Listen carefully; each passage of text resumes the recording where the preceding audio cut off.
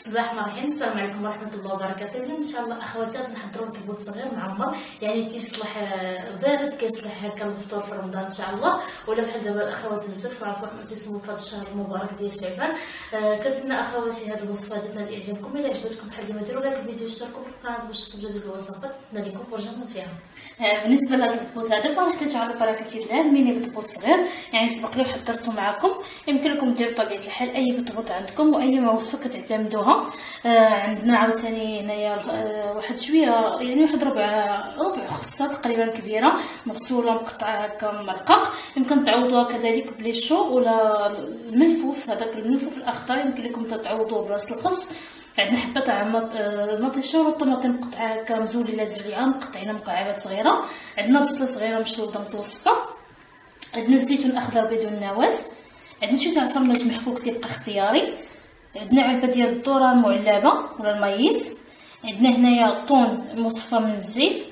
عندنا معلقة كبيرة ديال الجبن آه، ديال الدهن اللي يمكن لكم تعوضوها بالمايونيز. وطبيعة الحال باش غادي نسيزونيو غادي نحتاجو شوية تاع الابزار وشوية ديال زيت الزيتون. أنا كنلاحظ ما درتش ما نستعمل الملحة لأن هاد المكونات كلها عندي مالحه ما كاين لاش نضيف الملحة. غادي نضيف شوية تاع زيت الزيتون وشوية ديال الابزار هادو هما المكونات اللي عندنا ندوزو على بركة الله الطريقة. بالنسبة للطريقة فهي جد سهلة. كناخذ جميع المكونات اللي عندنا. هنا كيف ما كتلاحظوا آه، ضفنا يعني الخس غادي نضيف كذلك الميس أو الذرة المعلبة. نضيف الطماطم ديالنا.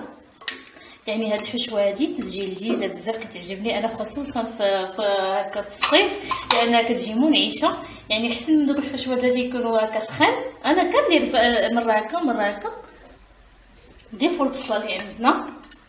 بالنسبة لهاد الحشوة هادي غير واحد الملاحظة. ما خاصهاش تبات. يعني منين بحال هكا منين يقرب هكا سيرتو في رمضان منين يقرب المغرب واحد ساعتين ما قالنا ولا نوجدوها صافي نقدموها هكا نديروها في الثلاجة ونقدموهم باردين. هما ما يباتوش لأن المكونات هادو اللي كتشوفوا معايا غادي يعني كيكون شوية sensible ما غير يطلقوا لينا الماء في البطبوط ديالنا.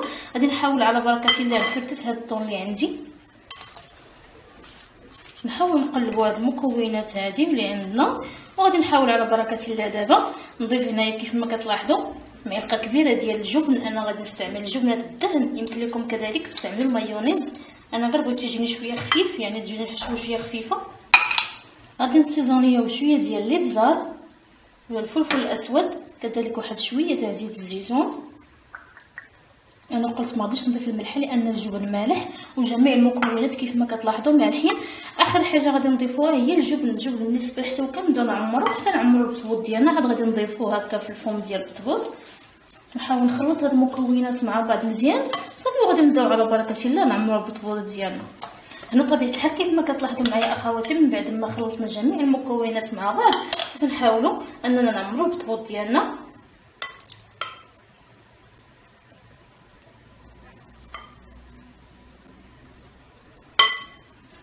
نوضع شوية ديال الجبن هنا من الفوق. صافي تنزلو يعني كيتقدم بارد. كساندويتشات كتجي رائعة جدا. وكيف ما قلنا هاد الحشوه هادي كتجي منعشة. وفي نفس الوقت لذيذة بزاف. ونتلاقاو نشوفو الطبق النهائي البطبوط تاعنا أخواتي كيف ما كتلاحظوا معايا من بعد ما عمرناه؟